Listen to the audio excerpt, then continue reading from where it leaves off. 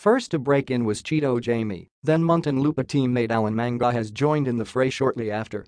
On Thursday night, the two ex-pros set an MPBL milestone while leading the Angelis resort-backed Cagers to an 80-67 triumph over the Pasay Voyagers in the MPBL Datu Cup.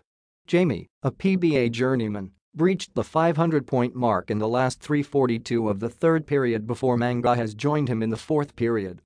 More than the personal feats, the two helped their team to their second straight victory that solidified the Cagers' hold of solo second spot. Muntinlupa has improved its win-loss record to 11-5. Mangahas finished with 21 points on top of 6 rebounds, while Jaime contributed 15 to go with 6 boards.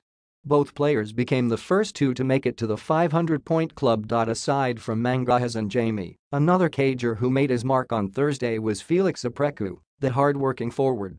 Apreku had another double-double performance, finishing with 10 points and 10 rebounds. It was the 14th double-double showing for the 6'4 frontliner, the most by any player in league history.